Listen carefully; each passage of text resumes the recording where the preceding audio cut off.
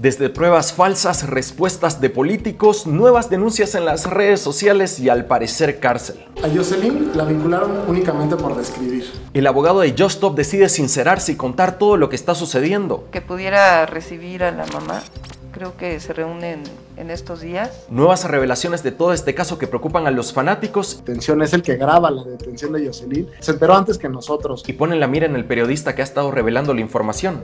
Fui denunciado y el polémico youtuber Zorrito Youtubero pudiera ir hasta 5 años de cárcel, acaba de revelar que ha sido denunciado por 3 delitos. Por lo cual me tengo que presentar la siguiente semana ante el MP. Y se tiene que presentar la semana que viene ante el juzgado. Para el youtuber Ismael Prego, más conocido como Wismichu. Y hablando de denuncias, gente, Wismichu querellado. Diversas víctimas han presentado pruebas en contra del youtuber español. Por un delito verdaderamente asqueroso y vomitivo. Y al parecer se viene un nuevo juicio y polémica en las redes sociales todo eso y más a continuación. Buenas gente, ¿cómo están? Feliz miércoles. Como ya saben, mi nombre es Andrés Peredo y en este canal vemos todo lo que está sucediendo en las redes sociales. Los invito a que le hagan clic al botón rojo para suscribirse si todavía no lo han hecho. Y no se van a olvidar de activar esta campana de notificación con todas las notificaciones. Así YouTube les va a avisar al segundo de que suba un nuevo video. Ahora sí, sin más preámbulos, que empiece esta nueva actualización que está bastante fuerte. Que pudiera recibir a la mamá creo que se reúnen en estos días. Tenemos una respuesta por parte de la jefa de gobierno de la Ciudad de México. Como hemos visto en el anterior video, el día lunes tuvimos un resultado oficial por parte del juez, quien ordenó que la youtuber Jocelyn Hoffman se mantenga en prisión preventiva hasta mediados de septiembre. A Jocelyn la vincularon únicamente por describir. A raíz de esta resolución, la mamá, el abogado y también el novio de Joss salieron a dar nuevos comunicados oficiales. La injusticia que se está cometiendo con mi hija, que no, no debe de estar pasando esta situación y en especial el equipo legal de Joss que comenzó a dar nuevas entrevistas contando detalles de cómo fue la audiencia y cómo ellos consideran que hay personas que están tratando de poner pruebas falsas. Un solo supuesto delito, una sola prueba, y el juez no escuchó razones. Antes de que vamos con ese punto, veamos qué está sucediendo con la jefa de gobierno de la Ciudad de México ya que se está apoderando de los diversos titulares. Como pueden ver, diversos titulares están informando que la jefa de gobierno solicitó a la fiscal general de justicia de la Ciudad de México, Ernestina Godoy, que se reúna personalmente con la mamá de Just Stop. le pedí a la fiscal general de justicia, a la licenciada Ernestina Godoy, que pudiera recibir a la mamá creo que se reúnen en estos días. Y es que durante una visita a una obra, ella hubiera dado una conferencia, asegurando de que es necesario hacer justicia para la víctima, en este caso Ainara, pero que cada quien debería asumir la responsabilidad que le competen. Una denuncia eh, de una víctima, hay que hacerle caso a la víctima, pero en todos estos casos pues tiene que privar un esquema general del proceso penal. En sus palabras dijo lo siguiente, cada quien tiene que asumir sus responsabilidades porque me parece que no cualquier cosa se puede decir, pero también hay que ver la justicia, hasta dónde llega, cómo llega y cómo se realiza. Eh, porque finalmente pues es un tema de la fiscalía, pero yo creo que en general eh, el tema de hacer justicia, eh, la utilización de los propios medios, tiene que ser algo que tenemos que reflexionar todos. Ella asegura que todas las personas tienen que reflexionar, que este tema en particular tiene que entenderlo muy bien la fiscalía y que el propio sistema penal tuviera distintas salidas. Ella nos dice que la cárcel no necesariamente tiene que ser la única vía. Eh, en este tema en particular me parece que la fiscalía tiene que atender el tema de los y el propio sistema penal acusatorio tiene distintos eh, elementos que permiten, es decir, la cárcel no necesariamente es la única salida. Y que quizás hay otras maneras en las cuales Justop pague la responsabilidad que tiene por decir las palabras que dijo. ¿Será que de alguna manera nos está dando a entender que considera injusta la resolución del juez? A Jocelyn la vincularon únicamente por describir. Ahora vemos qué están diciendo los abogados de Justop. En una reciente entrevista, él nos detalló cómo se vivió toda la audiencia. Mira, me parece muy raro que el mismo reportero que es el que saca esa imagen en Twitter, que es falsa, o sea, los adelantos falsos, esa imagen, esa imagen no está dentro de la investigación. Asegura de que hay un periodista en particular, recordarles quién es el periodista, les estoy dejando acá su cuenta, que él ha estado publicando las actualizaciones de primera mano. Eh, fue el mismo reportero que llegó con la fiscalía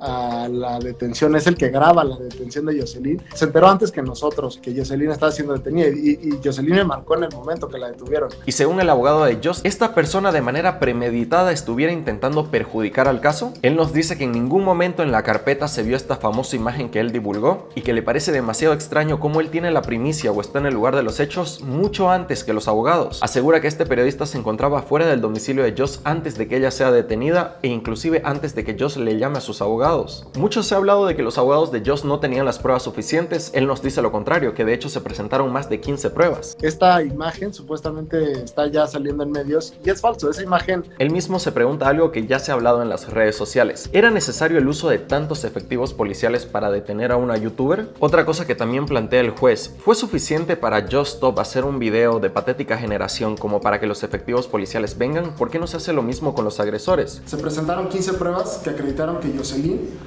nunca describió, sino mencionó. Peritos acreditaron que era imposible que Jocelyn conociera que la persona en el video de contenido era menor de edad. Si bien se nos aseguran de que son dos procesos diferentes, es decir, dos carpetas diferentes, y en ningún momento se trata el tema del delito en sí, en este caso en particular del de Joss, se pregunta por qué los abogados o por qué los medios o por qué la misma policía no está girando al otro lado y también haciendo alusión al otro punto importante, el punto más importante en cuestión, de hecho. El juez desestimó todas las pruebas y vinculó de inmediato. Ya traía la resolución lista. Él nos asegura en realidad de que el juez ya tenía todo decidido a tal punto de que ya tenía la sentencia que iba a mantener a Joss en la cárcel antes inclusive de escuchar a las dos partes. Al parecer el juez no iba a cambiar su punto de vista y no había manera en cómo ellos pudieran exponer sus pruebas para solicitar la libertad de Joss. No se iba a contradecir. Él fue el mismo que giró la orden de aprehensión y la orden de captura. Él cree que hay un interés mucho más grande por detrás. Ellos se van a encargar de que Joss quede en libertad, tomando en cuenta lo que mencionaron los abogados de Ainara en su momento. Y todos los otros delitos que alega la contraparte de, pro, de producción, distribución, grabación, este, representación, no existen en la vida jurídica. El juez los desestimó porque no hay prueba. Que ellos también solicitarán por la vía civil el resarcimiento de daños, es decir, una compensación económica por todo lo que hubiera perjudicado el video de Joss Ainara. No hay un monto exacto en las redes sociales, pero se baraja el número de los 2 millones de pesos, un estimado de los 100 mil dólares que Joss tuviera que pagarle a Ainara. Lo que hizo Jocelyn no fue el ejercicio de un derecho a la libertad de expresión. Por su parte, tanto Ainara como sus abogados también salieron a dar declaraciones a los medios de comunicación. Ainara asegura que lo que hizo la youtuber Just Stop con ella no es para nada justo. Parte de su lucha, según sus palabras, es que quiere evitar que otras mujeres pasen por exactamente lo mismo, esta especie de bullying o acoso cibernético que le causó muchísimo daño. Creo que también es importante mencionar que faltan los otros cuatro agresores.